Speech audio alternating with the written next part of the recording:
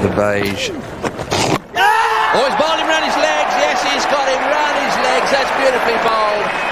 You've got to go, son, I'm afraid. And boy, Benaud's out of his seat. So I think there's a lot of Richies who enjoyed that one.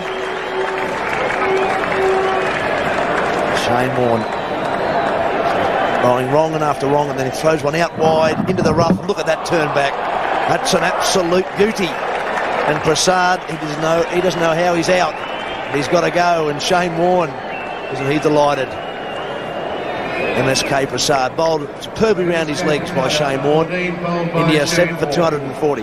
On mark is the all-important thing. Not many to go, so you'd say they should do it on their ear. But uh, there are some things that can go wrong in the best laid plans on the cricket field.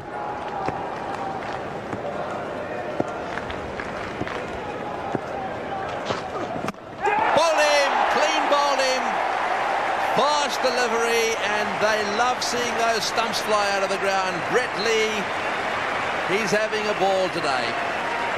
And that's one of the things that can go wrong. Very good debut for Brett Lee, made runs. Now he's got three wickets. That was with an attempted Yorker that turned out to be a full toss, but it was simply too fast for Prasad.